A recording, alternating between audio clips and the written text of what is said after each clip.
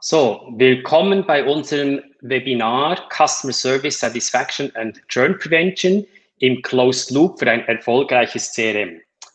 Dieses Webinar wird auf Deutsch stattfinden und ich stelle gleich mal alle unsere Teilnehmer vor oder Teilnehmer, sprich unsere Präsenter. Äh, auf der einen Seite, nächste Folie bitte.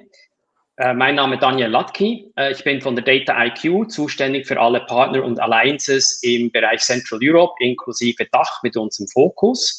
Parallel dazu habe ich heute mit dabei unseren Partner Essentri mit dem Frank und dem Matthias, die beide über 20 Jahre Erfahrung haben im Bereich Customer Relationship Management. Bitte stellt euch mal kurz vor, Frank und Matthias. Ja, hallo, vielen Dank, Daniel, für die Einleitung. Mein Name ist Frank Oechsle. Ich bin der ähm, Head of Data Science bei der Essentry AG und das Ganze schon seit zwei Jahren. Von meiner Ausbildung her bin ich Wirtschaftsmathematiker und war lange Jahre bei der 1 und 1 in Karlsruhe, habe dort das Thema Churn, also auch die Businessplan KPI global verantwortet und berufsbegleitend promoviere ich auch in diesem Kontext, sprich im Bereich Uplift und ähm, Churn. Ich freue mich auf das Webinar. Mein Name ist Matthias Wurdig. Ich bin Wirtschaftsinformatiker und bin schon seit dem Jahr 2011 in dem Bereich Data Science unterwegs. Ich habe ganz unterschiedliche Projekte und Branchen kennengelernt. Ich war beispielsweise im Versandhandel, ebenfalls in der Telekommunikationsbranche, ähm, aber auch Verlagswesen, Automotive beispielsweise und habe dort äh, unterschiedliche Projekte mit begleitet, umgesetzt in unterschiedlichen Rollen. Im Wesentlichen haben die sich äh, immer um den Kunden gedreht und deswegen heute auch hier von unserer Seite mit dabei.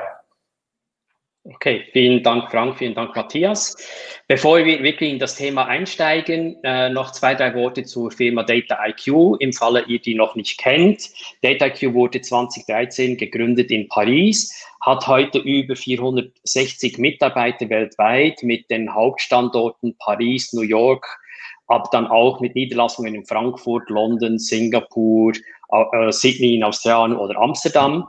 Äh, wir sind hauptsächlich fokussiert bei der Vermarktung unserer Lösung DSS, Data Science Studio, das dank eines kollaborativen Ansatzes eigentlich alle Personen in einem Unternehmen mit integriert in die Projektierung und Umsetzung von Data Science Projekten.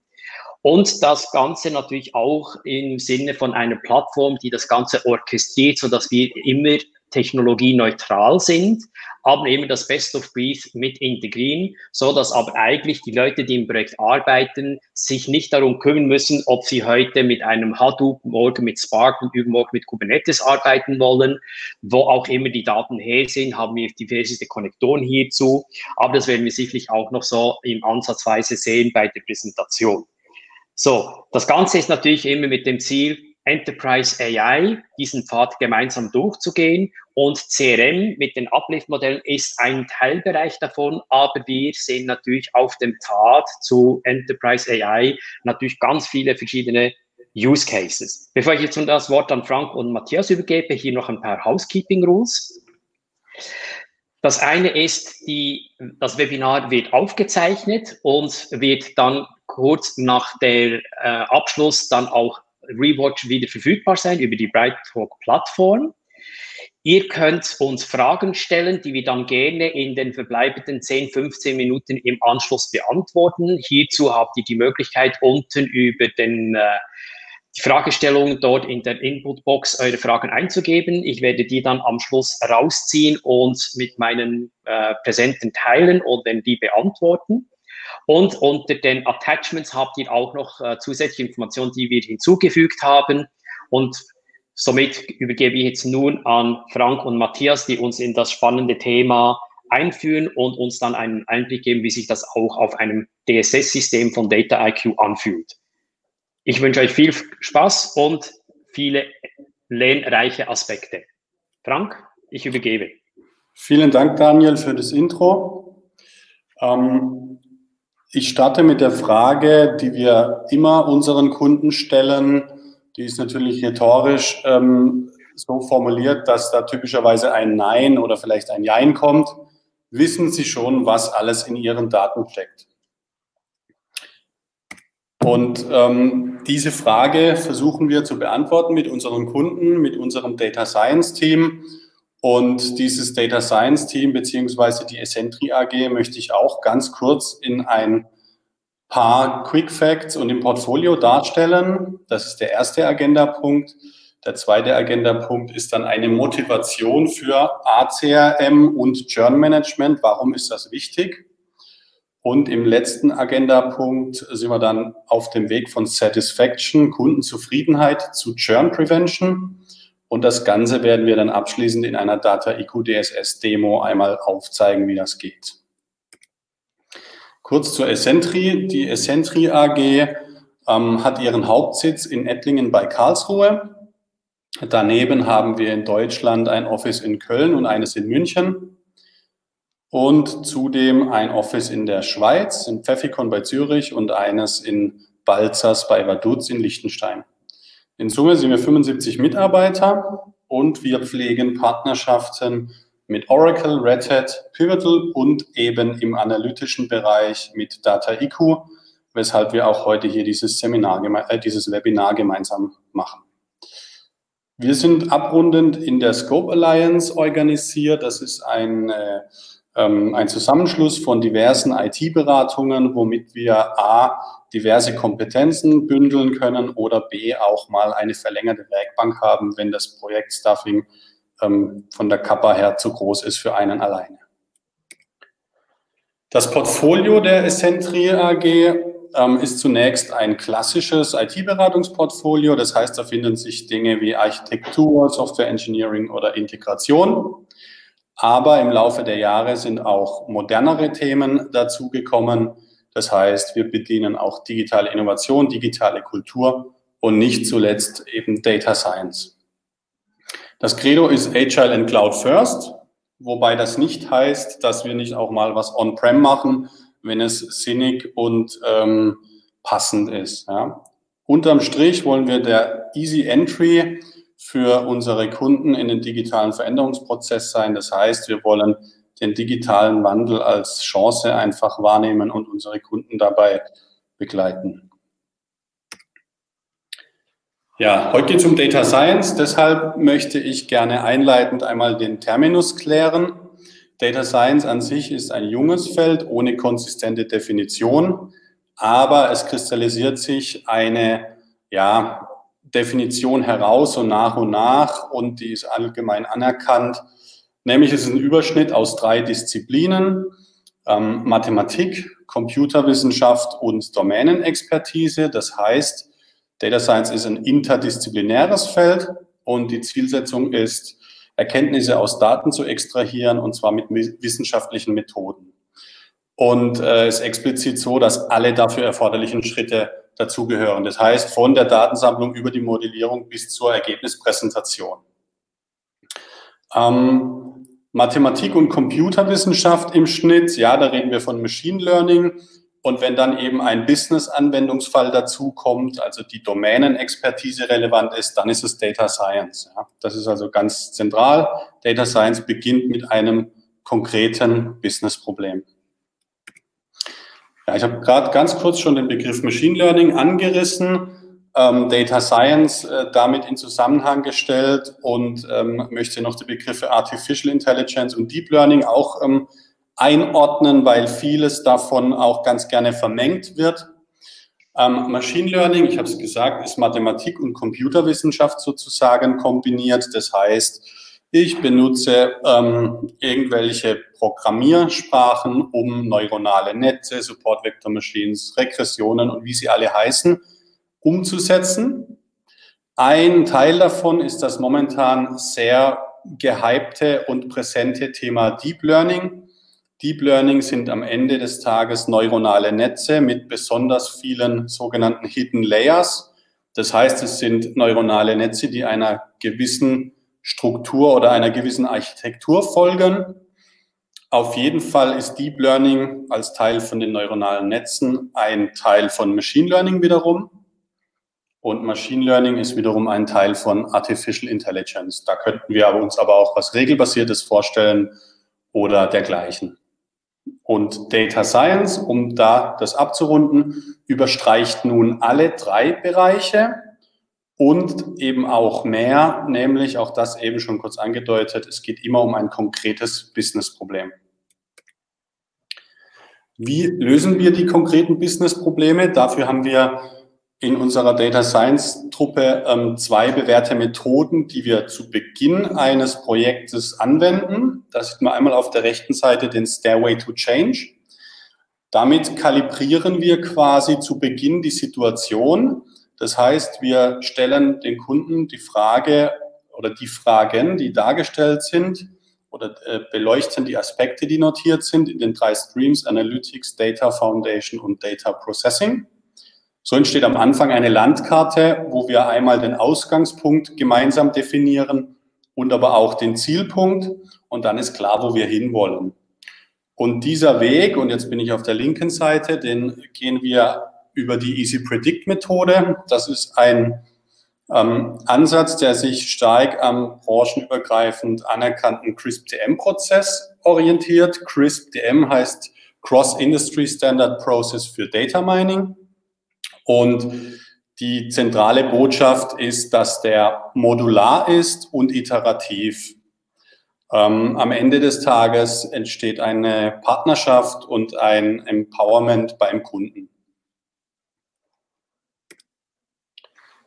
Ja, das zur Theorie. In der Praxis können wir sagen, dass wir im Team 40 Jahre Data Science Erfahrung zusammenbringen, was denke ich beachtlich ist bei der ähm, Jugend dieser Disziplin.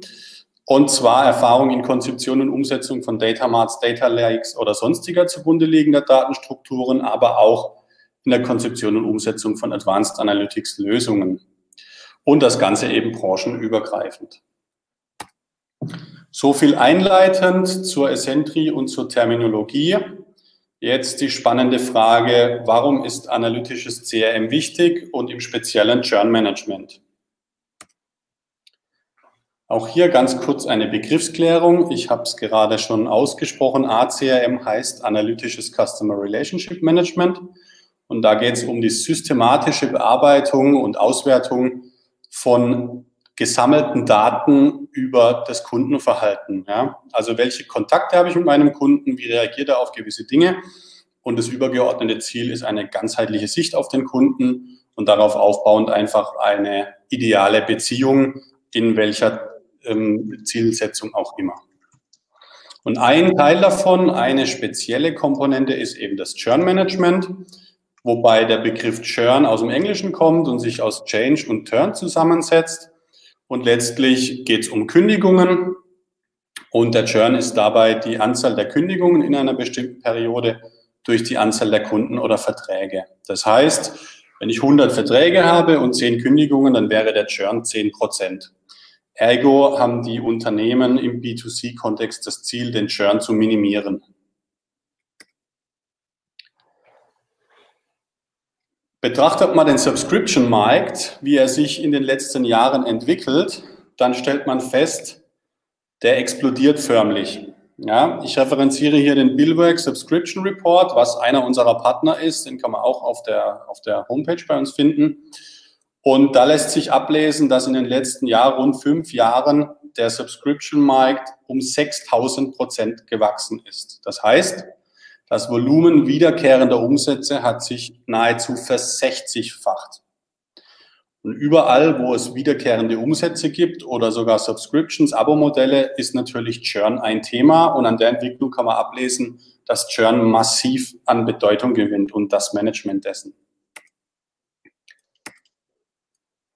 Ja, was auch noch eine spannende Erkenntnis ist, wenn man dieses Diagramm anschaut, dass es vor allem die reifen Unternehmen sind. Und reif heißt in dem Fall älter als zehn Jahre, die das Wachstum antreiben. Das heißt, wir reden hier nicht über Startups, die neu reinkommen und sich jetzt in Subscription versuchen, sondern es sind auch ähm, etablierte Unternehmen, die ihre Geschäftsmodelle dahingehend umstellen. Und selbst wenn Sie jetzt bei sich vielleicht kein Abo-Vertragsverhältnis vorliegen haben und sagen, Subscription ist für mich nur bedingt relevant, dann würde ich mal unterstellen, dass die große Mehrheit der hier Zuhörenden in irgendeiner Art und Weise im B2C-Kontext unterwegs sind. Und da stellt sich natürlich die Frage, äh, wie ist es mit Bestandskunden, wie ist es mit Neukunden, wie muss ich Schwerpunkte setzen? Und da lässt sich festhalten, dass es fünfmal mehr kostet, einen Neukunden zu gewinnen, als einen bestehenden Kunden quasi zu erhalten. Und auch das ist natürlich eine wichtige Botschaft und zeigt, dass Customer Relationship Management oder Churn Management ähm, ja, uns alle angeht sozusagen. An der Stelle habe ich jetzt die Motivation bereitet und würde an den Matthias übergeben. Dankeschön, Frank. Genau. Ähm, an dieser Stelle schauen wir jetzt einmal tiefer, speziell auch aus einem Satisfaction Service ähm, Ansatz herein. Warum ist es wichtig, äh, Churn Management zu tun, haben wir eben gehört.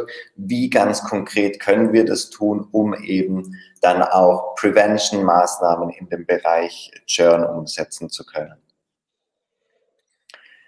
Grundlage für uns, für ein analytisches CRM und auch für jedes Churn Management ist generell eine Infrastruktur, die leistungsfähig ist, die eben die Use Cases bedient. Das bedeutet für uns, wir bauen im Normalfall eine Cloud-Infrastruktur, in Ausnahmefällen auch On-Premise-Infrastruktur in Rechenzentren bei den Kunden aus, auf und sammeln dort Daten ähm, über unsere, die, die, die, die Kunden bereits äh, in ihren Systemen allerdings verteilt in Silos haben, an einer zentralen Stelle. Was sind das für Daten? Das können ganz, ganz unterschiedliche Daten sein. Wir haben hier einmal exemplarisch aufgezeigt, was in diesen Data Storage oder in diesen Data Lake äh, mit reinfließen könnte. Das können beispielsweise Warenkorbinformationen sein. Was schaut sich der Kunde für Produkte an? Äh, Logistikinformationen, aber auch super, super relevant, vor allem für Serviceanbieter, wie wir es jetzt eben gesehen hatten, sind Informationen über die Nutzung, über die App-Nutzung, Informationen über die Website, über die Website-Nutzung der Produkte.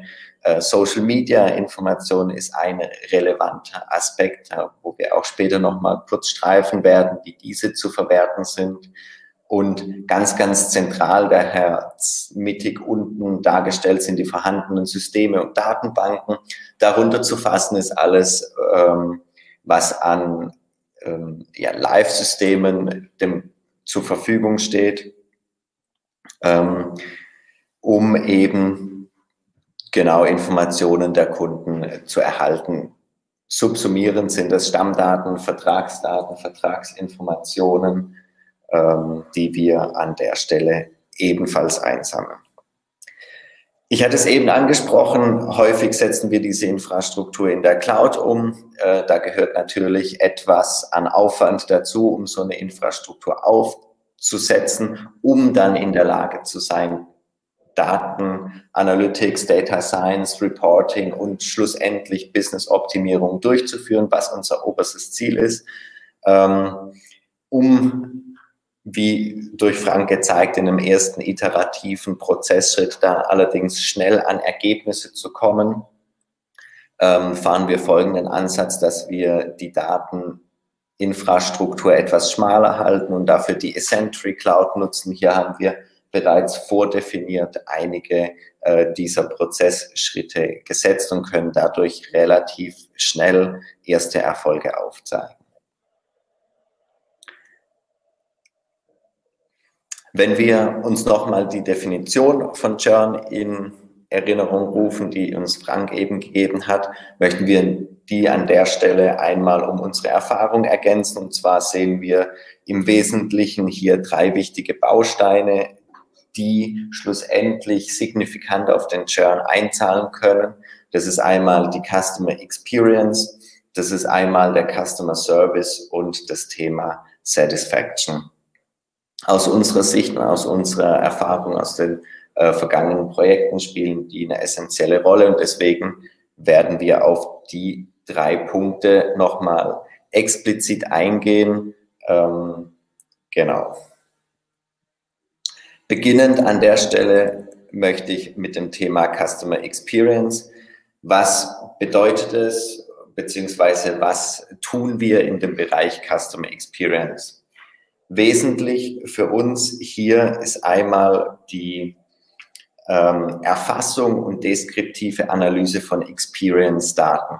Was sind oder was können Experience-Daten sein? Das sind beispielsweise Nutzungsinformationen auf der Website, die sich eben über den gesamten Customer Lifecycle eines Kunden ansammeln, die wir im ersten Schritt mehr oder weniger automatisch zum Teil schon erfassen, ähm, die eben an der Stelle ausgewertet werden sollen. Ziel dieser Analyse ist es immer, einen Zusammenhang zwischen Customer Experience Informationen und dem Churn herzustellen. Das heißt, wir suchen in den Daten ähm, nach Zusammenhänge, die wir ähm, an der Stelle eben identifizieren und aufzeigen können. Wenn wir diese Zusammenhänge gefunden haben, dann schauen wir an der Stelle noch ein bisschen genauer hin und versuchen einfach zu identifizieren, ob es gewisse Trigger-Events für gewisse Aktionen gibt. Beispielsweise ähm, kann ein Kunde sein Produkt nicht aktivieren, kündigt er es, ich sage mal, relativ logisch und nachvollziehbar, auch mit gesundem Menschenverstand. Aber gibt es beispielsweise viel mehr dieser Trigger-Events, die eben versteckt äh, Informationen in den Daten liefern und die dann zutage fördern. Das heißt, der Bereich Customer Experience ähm, ist für uns sozusagen einer der ersten Anlaufstelle, wo wir was gut machen können, um den Kunden bei uns zu behalten, beziehungsweise erste Indikatoren sehen, ähm, wenn Dinge nicht ganz so gut laufen, dass Kunden eben unzufriedener werden, sich im Service melden und schlussendlich auch kündigen. Sich im Service melden ist genau das richtige Stichwort und zwar ähm, leite ich an der Stelle über zum Bereich Customer Service. Ebenfalls wie der Bereich Customer Experience liefert der Bereich Customer Service super viele Informationen über unsere Kunden, die wir auch für ein Churn-Modell auf jeden Fall mit berücksichtigen wollen. Wie gehen wir hier vor? Relativ ähnlich. Auch hier erfassen wir zunächst die Daten. Wir führen deskriptive Analysen durch. Ähm, insbesondere hinsichtlich der Anrufgründe. Warum melden sich die Kunden bei uns? Äh, wo haben sie Probleme? Gibt es gegebenenfalls im äh, Experience-Umfeld was zu verbessern? Auch hier mit dem Ziel, einen Zusammenhang zwischen Customer Service, Churn ähm, zu identifizieren und an der Stelle eben dann auch äh, erste Maßnahmen umzusetzen, um eben Experience äh, beispielsweise zu verbessern. Die Identifikation und Reduktion der Ursachen für Service Calls ist ebenfalls ein wichtiger Aspekt, wo Unternehmen ähm, vor allem auch sehr viel Kosten einsparen können durch die Einsparung von, ich sag mal, unnötiger Service Calls, die an der Stelle nicht benötigt werden. Das heißt, en passant ähm, machen wir oder optimieren wir nicht nur das Churn Management, sondern können auch im Customer Service gleichzeitig ähm, eine Optimierung durchführen. Der dritte Punkt ist das Thema Customer Experience, ähm, Entschuldigung, Customer Satisfaction. Ähm, bei Customer Satisfaction ist es ein bisschen differenzierter zu betrachten im Vergleich zu Experience und Service. Die Experience und Service Daten sind im Wesentlichen in den Unternehmen vorhanden. Kundenzufriedenheit muss hingegen erst noch erfasst werden. Wie kann die Kundenzufriedenheit erfasst werden? Beispielsweise durch eine NPS-Befragung. NPS steht an der Stelle äh, für Net Promoter Score und bildet im Wesentlichen ab, wie viel negativ gestimmte Kunden stehen positiv gestimmten Kunden gegenüber. Ich habe hier rechter Hand einmal eine Grafik eingeblendet, die hat ähm, Personen von 0, von 1 bis 10 äh, in unterschiedlichen Farben eingefärbt. Ähm, will sagen, bei der NPS-Befragung wird dem Kunden die Frage gestellt, wie wahrscheinlich ist es, dass sie das Produkt oder den Service ihren ähm, Freunden weiterempfehlen. Die Antwortmöglichkeit liegt auf einer Skala zwischen 1 und 10 und eben wie hier in dieser Grafik dargestellt, werden die Kunden einklassifiziert. All jene mit einer Antwort zwischen 1 und 6 werden als Detraktoren, also vermeintlich ähm, schlecht, die negativ über das Unternehmen sprechen werden, klassifiziert. 7 und 8 sind die neutralen Kunden, die werden in der NPS-Berechnung ähm, außen vor gelassen, während hin 9 und 10 als Promotoren wahrgenommen werden. Das sind diejenigen, die positiv über das Unternehmen sprechen auch sehr aktiv ähm, den Service oder die Produkte ihren Freunden und Bekannten weiterempfehlen.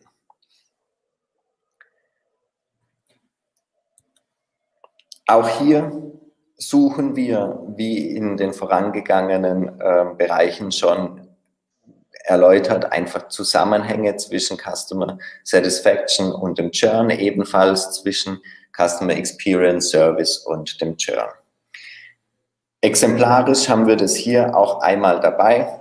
Wenn wir uns ähm, auf der Y-Achse, also in Höhe gedacht, einmal eine durchschnittliche Churn Rate ähm, ins Auge fassen, während wir auf der X-Achse jetzt eben für diese Detraktoren, Neutrale und Promotoren beziehungsweise für ähm, dieses jeweilige NPS-Rating, das die Kunden abgegeben haben, ähm, die Skala von 1 bis 10 denken, dann haben wir hier in den negativen Bereichen bei den Detraktoren eine deutlich höhere durchschnittliche Churn Rate, als wir es im Beispiel bei den Promotoren sehen, die in unserem Datensatz glücklicherweise gar nicht gekündigt haben. Genau, bei Customer Satisfaction gehen wir ebenfalls ähm, hin, dass wir die Gründe für die Zufriedenheit identifizieren und ein Teil der Gründe kann in jedem Fall auch in den vorangegangenen Disziplinen, sprich Customer Experience Analytics und Customer ähm, Service Analytics liegen. Weil wir dieses Thema als extrem wichtig erachten, haben wir hier ein kleiner Baukasten für uns zusammengestellt, ähm, wie Customer Experience, Customer Service und Satisfaction als Frühwarnsystem für Churn funktionieren können.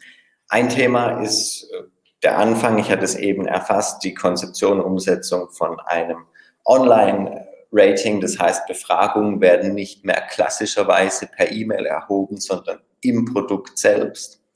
Ähm, ein weiterer Baustein ist, diese NPS-Kennzahl auch auf Service anzuwenden. Das heißt, mit NPS-Befragungen werden auch Service Calls qualifiziert und im Endeffekt auch auf ihre Lösungsrate, auf die Call Resolution Rate hin bewertet. Ebenfalls schauen wir uns Faktoren wie Average Handling Time, Pickup Time, also wie lange dauert es, bis ein Service Call gehandelt werden kann, also bis ein Agent mit dem Kunden spricht und wie lange dauert die allgemeine Fallbearbeitung ab, die eben als Indikatoren für negative Churn Rates stehen. Daraus entwickelt haben wir ein NPS oder Churn Key Determinant Reporting. Das bedeutet, wir haben ähm, ein Reporting, das uns die Haupteinflussgrößen auf unsere Zielgröße, in dem Fall NPS oder Churn, ähm, gibt und das Ganze als ähm, ja, Reporting dargestellt, um eine dauerhafte Lösung ähm, abzubilden, werden wir uns später auch in Data IQ direkt anschauen. Weiterer Punkt, ähm, Social Media, NPS und Tonalitäten Monitoring, ähm, indem man eben die Social Media Kanäle wie Twitter, Facebook beispielsweise mit anbindet und eine Social Media Stimme mit zu integrieren. Es ist eine externe Quelle, gibt aber dennoch einiges an Aufschluss äh, über die Unternehmen. Die Schwierigkeit beziehungsweise die Herausforderung speziell in dem Customer Satisfaction Bereich ähm, ist diese, dass wir nicht für jeden Kunden wissen, wie zufrieden er ist, da nicht jeder Kunde die Befragung durch oder die Befragung, die wir ihm schicken und wünschen, dass er daran teilnimmt, durchführt. Das heißt, im ersten Schritt sagen wir, okay, mind the gap, wir kennen diese Lücke, aber wir möchten diese Lücke schließen. Das heißt, unser Vorgehen ist folgendes. Wir schätzen explizit auf Basis von vorhandenen Daten einmal Customer Satisfaction Werte. Wir schätzen ein Servicebedürfnis der Kunden und wir schätzen dieses Experience Level, wo steht der Customer in seiner Journey für jeden einzelnen Kunden und sind damit wiederum in der Lage, zielgerichtetere Prognosen auch im äh, Churn Prevention und Prediction Umfeld durchzuführen. Und Churn Prediction ist genau das Richtige. An der Stelle übergebe ich wieder an Frank. Ja,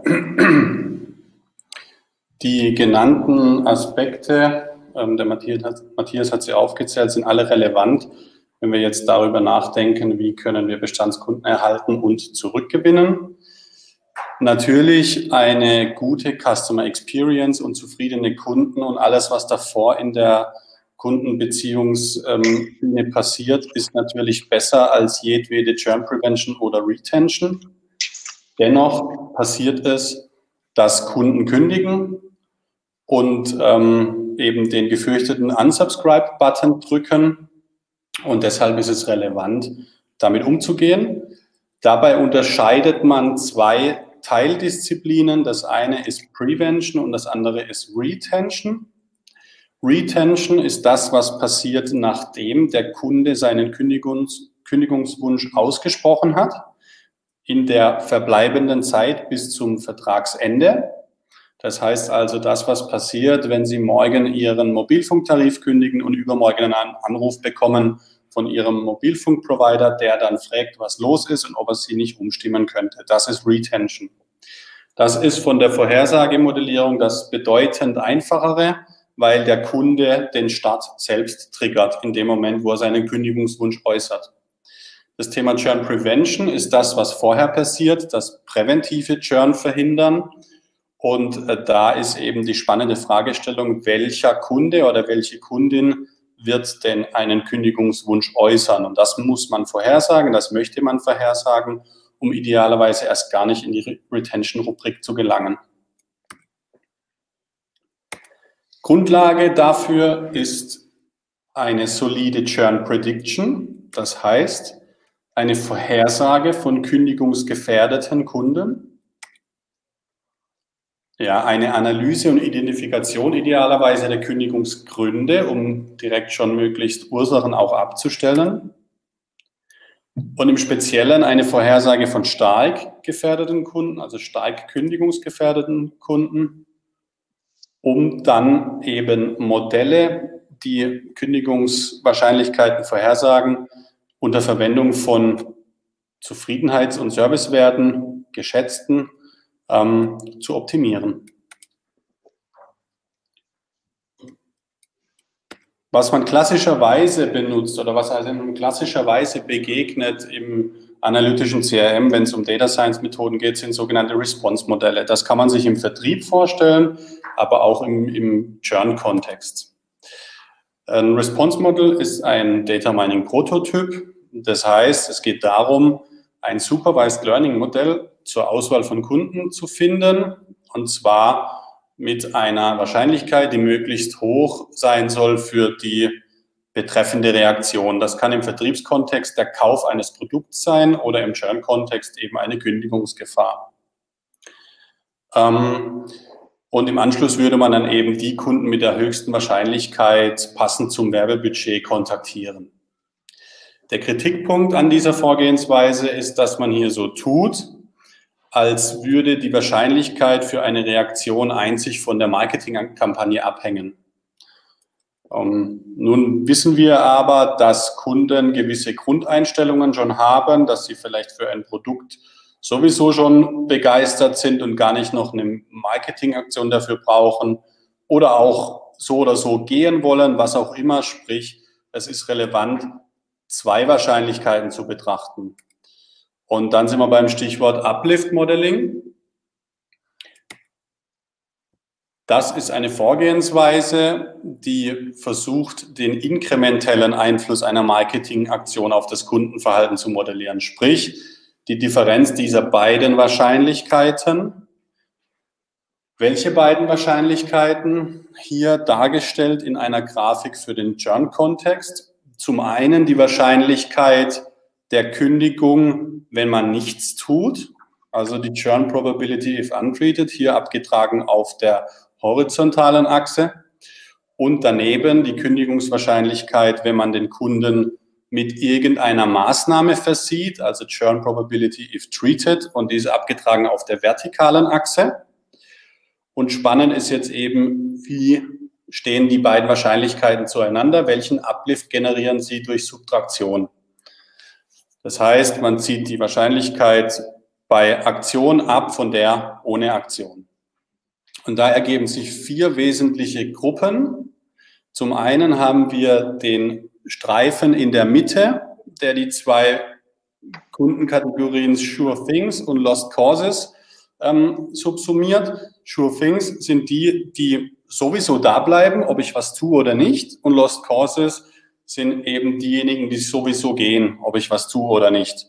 In der Konsequenz lässt sich festhalten, dass in, der, in dem mittleren Streifen eine Aktion keine Veränderung bringt und ich sie einfach bleiben lassen sollte. Ja, dann gibt es noch die Persuadables und die Sleeping Dogs. Die Sleeping Dogs, das ist das links obere Dreieck. Ähm, das sind die Kunden, die man besser in Ruhe lässt, ja, nämlich die, die vielleicht von einem Service Call oder einem sonstigen Anruf ähm, genervt sind und gerade erst wegen dem Anruf gehen, sprich, damit konterkariert man quasi das Churn-Ansinnen, dass man Churn reduzieren möchte. Im Resultat erhöht man den Churn. Und das ist etwas, was man in der Realität oft genug beobachtet, dass Churn-Kampagnen zu mehr Churn führen. Und ähm, das wäre dann ein klassisches Eigentor. Was man viel mehr versucht zu erreichen, sind die Persuadables, nämlich die Kunden, die man mit einem Kontakt positiv beeinflussen kann, wo also die Kündigungswahrscheinlichkeit, wenn man nichts tut, höher ist als die Kündigungswahrscheinlichkeit, wenn man was tut. Wie das Ganze jetzt operationalisierbar ist, wird der Matthias erläutern. Genau, Dankeschön, Frank. Ähm, wenn wir, wie eben gezeigt, diese Response Models oder Uplift Models aufbauen, möchten, dann ähm, haben wir das jetzt hier einmal schematisch nochmal dargestellt. Wir nehmen uns die Stammdaten, Vertragsdaten, die in unterschiedlichen Töpfen liegen, aggregieren diese, können damit eine 360 Grad idealerweise Customer View erzeugen und bauen darauf unser, ich sag mal, herkömmliches, klassisches äh, Response Churn Prediction Model auf wir haben das jetzt eben, wie angesprochen, weiter verfeinert bzw. weiterentwickelt und wir ergänzen die Experience-Daten, die Service-Daten und die Satisfaction-Daten und schätzen hier jeweils ähm, ein, ja, für den Gesamtbestand der Experience ähm, oder für den Bestand der Kunden, für die wir keine Experience-Information haben, die Experience-Daten, wir schätzen ähm, Service-Level ähm, und Service-Bedürfnis für die Kunden, für die wir keine Service-Information haben und zu guter Letzt eben äh, die Satisfaction, die NPS-Prediction für Kunden, für die wir keine Information haben. All dies führen wir dann zusammen in diese erweiterte 360 Grad Customer View inklusive Pre-Prediction. Die Pre-Prediction Prediction sind eben die neu entstandenen Töpfe durch unsere ähm, Schätzungen und darauf basierend sind wir nun in der Lage, Churn Prediction Modell inklusive Pre-Prediction oder idealerweise, wie eben durch Frank angesprochenen Uplift Churn Prediction Model inklusive dieser ähm, Pre-Prediction Daten durchzuführen. Wie genau das in Data IQ aussieht, das werden wir jetzt einmal noch demonstrieren.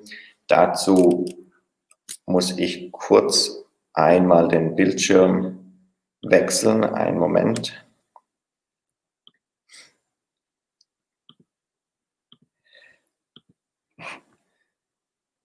Genau.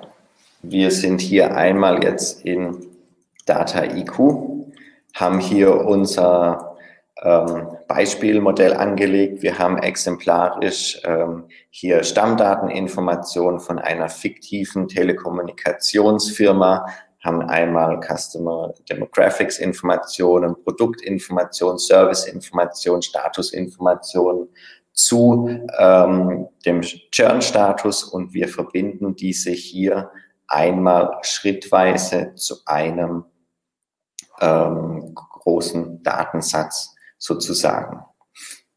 Bevor wir in die, bevor wir in die, ähm, in das Modell, in den Flow noch ein Stück tiefer einsteigen, möchte ich an dieser Stelle, wenn wir die Daten einmal aggregiert haben, auch auf das andere Punkt, NPS Key Determined Analytics Dashboard zu sprechen kommen. Das haben wir hier auch exemplarisch als ähm, Dashboard aufgebaut.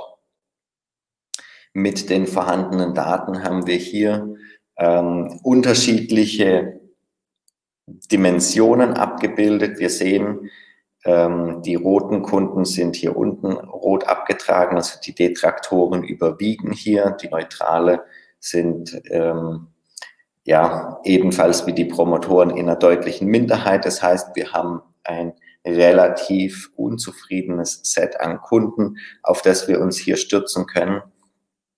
Ähm, abgetragen hier einfach exemplarisch, um ähm, zu zeigen, wie so etwas aussehen kann, haben wir ähm, eine Experience-Information, beispielsweise das durchschnittliche monatliche Volumen in Gigabyte, das gedownloadet wird. Und hier sehen wir, je mehr ein Kunde downloadet, desto zufriedener ist er tendenziell. Die Kunden, die hier vorne äh, eher wenig Traffic generieren, sind ähm, etwas unzufriedener. Hier muss man dazu sagen, ähm, die Informationen sind eben aus beispielhaften Daten generiert. Das heißt, ähm, genau, wir haben hier keine Echtdaten herangezogen, sonst würde das Bild sicherlich auch nochmal anders aussehen. Zurück zu unserem, ähm, zu unserem Flow direkt hier in Data IQ.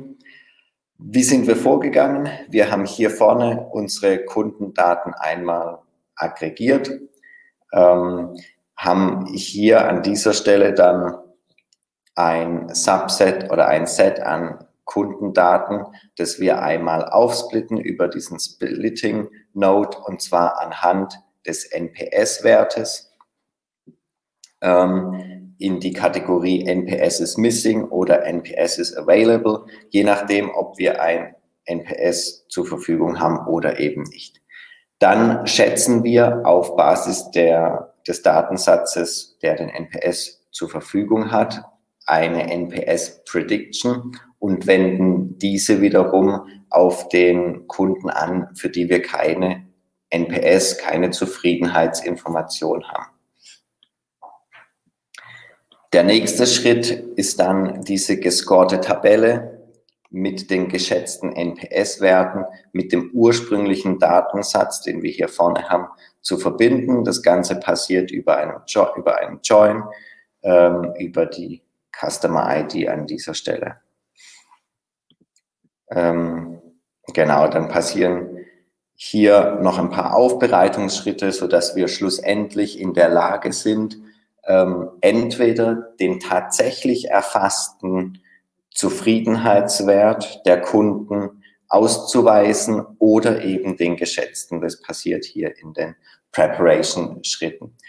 Damit wollen wir einmal exemplarisch anhand des Beispiels Satisfaction zeigen, wie eben wir vorgehen können, um diese fehlenden Werte zu schätzen, um dann hier hinten für das Thema Churn Prediction einfach einen sehr, sehr umfassenden, umfangreichen Datensatz zu generieren, ähm, den dann an dieser Stelle bei uns in einem kollaborativen Projekt der Frank übernommen hat, um Churn vorherzusagen. Ja, vielen Dank, Matthias. Ich will noch mal ganz kurz ähm, zusammenfassen. Ähm, wir haben hier vorne also eine Menge von Datenquellen. Blau ist im Übrigen immer in irgendeiner Art und Weise eine Datenquelle oder ein Datensatz. Dann laufen ein paar verschiedene Joins in diesen gelb äh, dargestellten Kreisen. Gelb ist immer in irgendeiner Art und Weise eine Datenaufbereitung oder eine, ein sonstiges Recipe zwischen den Datensätzen. Und dann wird gesplittet, dann wird modelliert und wir haben dann noch im Endeffekt den letzten Schritt zu gehen, nämlich die zwei Wahrscheinlichkeiten bei Treatment und bei Nicht-Treatment zu schätzen. Dafür möchte ich einen vorbereitenden Schritt kurz im Detail anschauen, und zwar dieses Prepare Recipe, was ich jetzt hier markiert habe. Da wird eine neue Variable ähm, generiert nämlich sie nennt sich treated und wird erzeugt aus der ursprünglich vorhandenen Variable offer. In der Variable offer ist eingetragen, welches Offer der Kunde, der jeweilige Kunde zuletzt gesehen hat. Und die Ausprägungen sind None oder Offer A bis E. Und daraus machen wir eine Null im Falle None und ansonsten eine Eins. Das heißt, diese Variable treated ist Boolean und ähm, oder binär und äh, reflektiert, ob der Kunde ein Treatment hatte oder nicht. Das ist jetzt eben relevant, um zu entscheiden, für welche Modellgenese der jeweilige Kunde in Frage kommt. Das heißt, wir splitten hier den Datensatz in einen Treated und einen Untreated. Das heißt, die Einsen gehen nach oben und die Nullen gehen nach unten. Und im nächsten Schritt wird in diesen grünen Knoten, und das kann man sich auch merken, die Farbe grün steht dann eben für Machine Learning, sage ich jetzt mal salopp, ähm, werden hier zwei Modelle trainiert. Das ist im oberen Fall ein Random Forest und im unteren Fall eine logistische Regression. Und beide Modelle sagen die Churn-Wahrscheinlichkeit vorher. Und ähm, jetzt haben wir im Endeffekt alles an Werkzeugen da, was wir brauchen, um ein Uplift-Modell zu, ähm, umzusetzen. Das heißt, wenn man jetzt einen Kundendatensatz hätte, der in Frage kommt für eine Marketingmaßnahme, würde man ihn neu einbinden. Und es spielt hier keine Rolle, aus welchem Quellsystem er kommt. Der Daniel hat es einleitend erwähnt. DataIQ ist hier sehr flexibel. Und man würde die Datenquelle einbinden und dann eben einmal das Customers Treated Modell darauf anwenden und einmal das Untreated Modell die Differenz bilden und hätte damit eine neue Variable, die sich dann Uplift nennt und könnte den Datensatz anhand dieser Variable sortieren und entsprechend optimiert die Kampagne aussteuern. Jetzt würden wir noch mal einmal zurückwechseln auf den Foliensatz.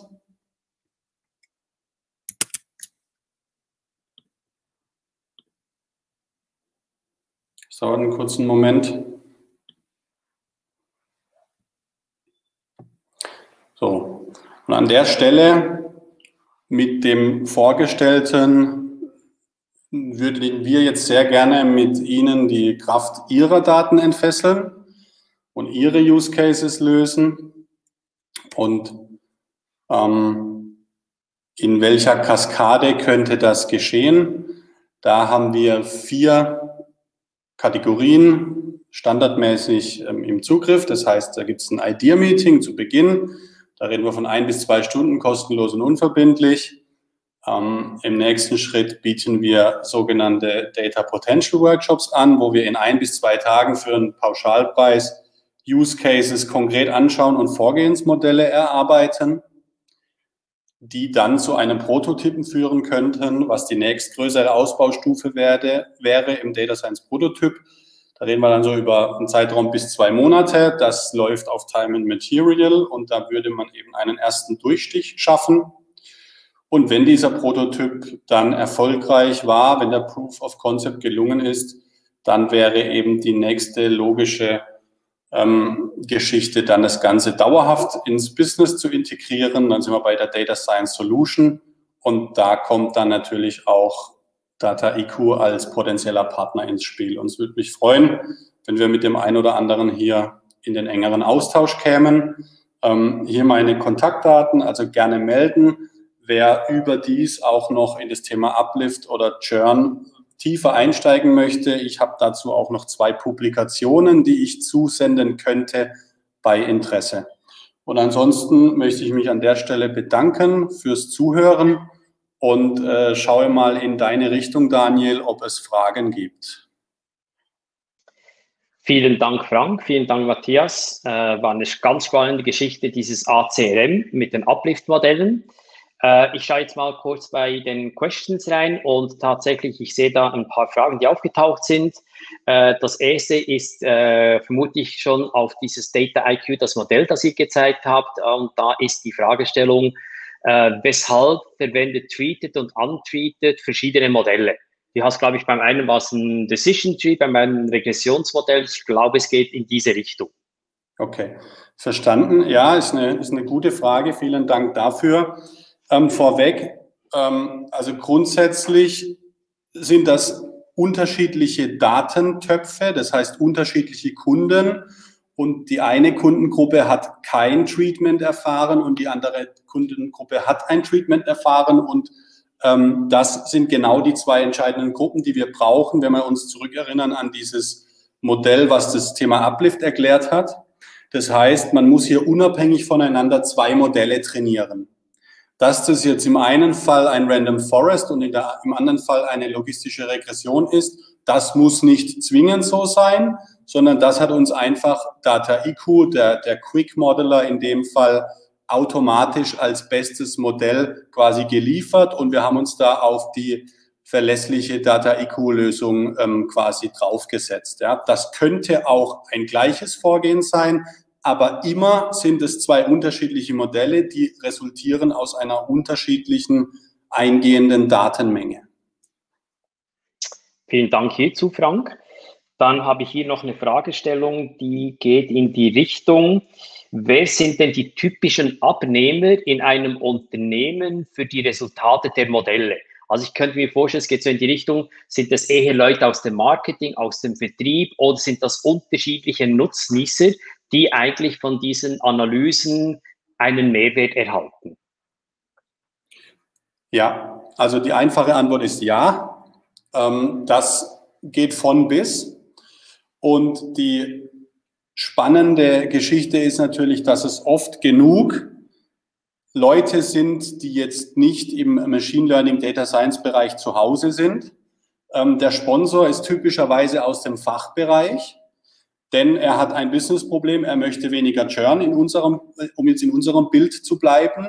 Und er ist am Ende auch derjenige, der die, den Einsatz im Endeffekt verantwortet. Und ähm, das setzt voraus, dass man die Dinge, die man tut, gut erklären kann. Und das ist zum Beispiel auch ein Aspekt, warum wir so überzeugt sind auch von der Data IQ-Lösung, weil man hat es, glaube ich, gerade gesehen, das Ganze ist grafisch sehr schön aufbereitet und man muss hier keinen Python-Code verstehen, um mitzukommen. Ja. Ähm, es sind also auf jeden Fall immer fachlich Verantwortliche, die auch mit drauf schauen. Ja? Und es können aber auch am Ende des Tages Leute sein auf C-Level, die sich nur einen Report anschauen, der irgendwie automatisiert äh, generiert wird von Data IQ. Und es kann aber auch ein Data Scientist im Falle die Unternehmung selbst eine Data Science Abteilung hat, auch mitspielen. Und man hilft dann einfach Fuß zu fassen und die Analysen durchzuführen. Also tatsächlich von bis. Die Challenge, die aber immer eigentlich dabei ist, dass man jemand Fachfremdes auch äh, vom Thema überzeugen muss. Vielen Dank, Frank. Die eine Frage ist jetzt ganz einfach an Data IQ, die ist auch einfach zu beantworten, quasi, äh, ob wir einen Sitz in Deutschland haben und die Antwort ist ja. Äh, unser Sitz in Deutschland ist in Frankfurt am Main. Wir haben aber auch Mitarbeiter, die in einem Büro in Berlin zu Hause sind und natürlich, wie es die aktuelle Zeit auch äh, vorschlägt, viele von Homeoffice, also durch Covid natürlich auch etwas belastet. Aber ja, Sitz Deutschland ist Frankfurt am Main.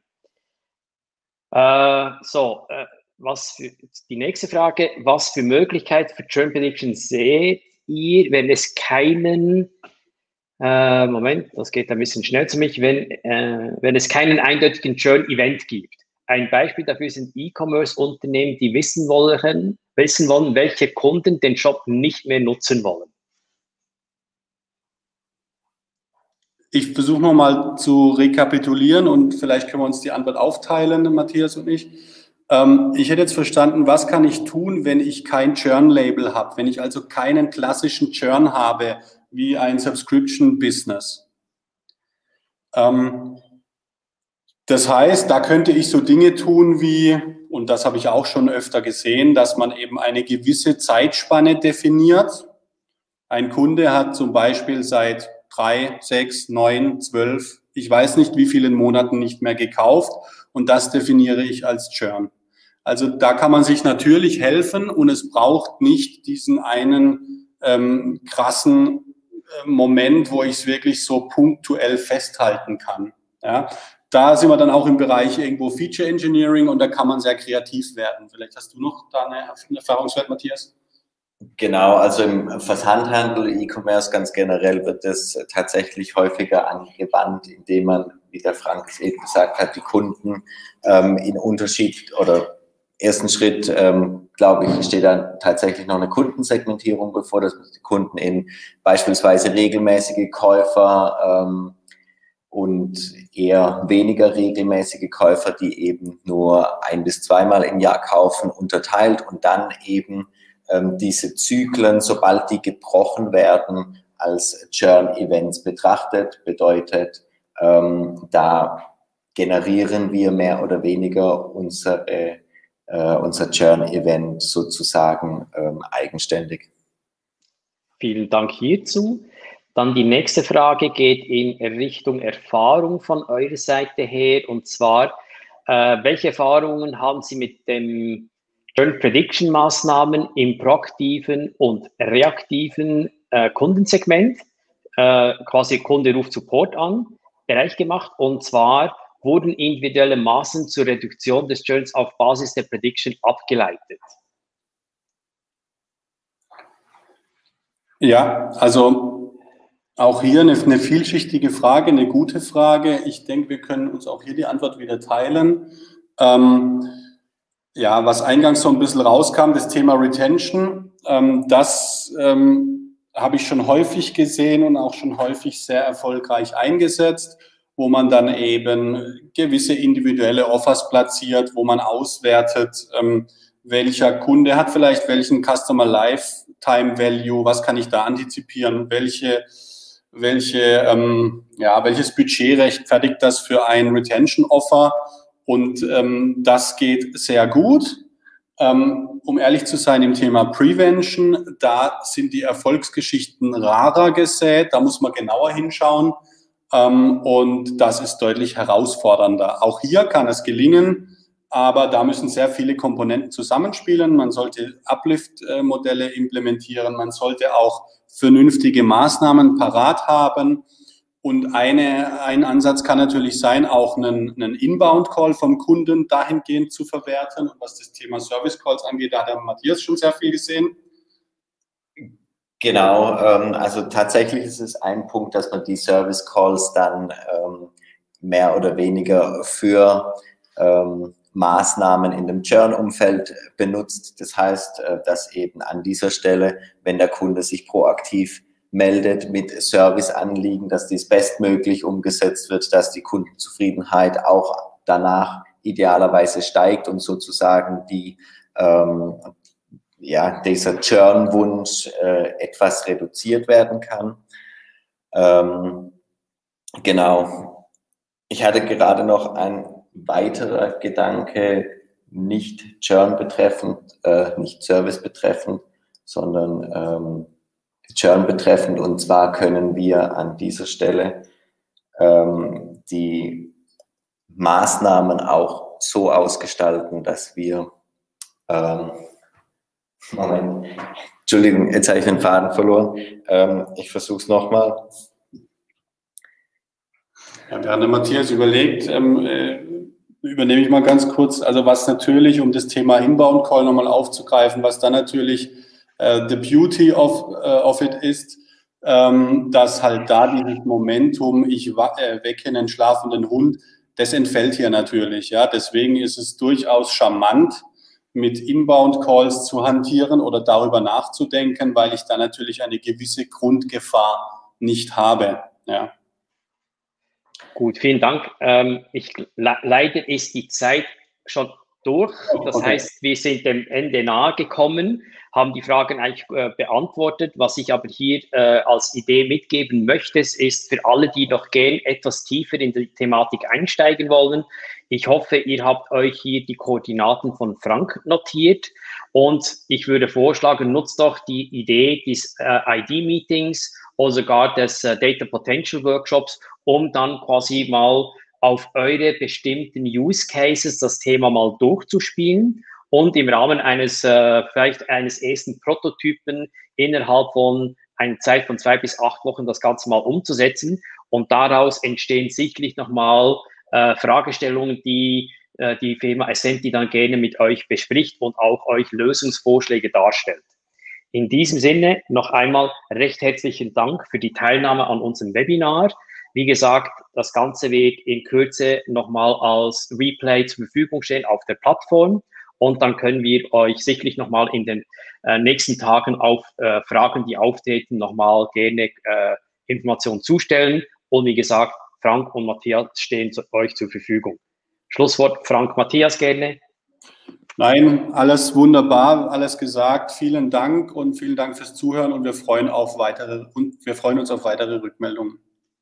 Vielen Dank und ich wünsche allen noch einen erfolgreichen äh, Wochenendspurt und hoffentlich bleibt alle gesund. Danke, tschüss. Tschüss. Ciao.